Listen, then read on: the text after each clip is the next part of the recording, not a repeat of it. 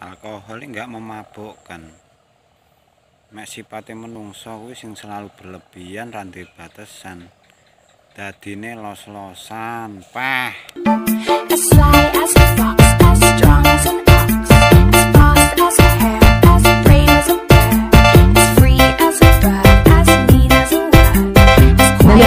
DJ Loves. Productions.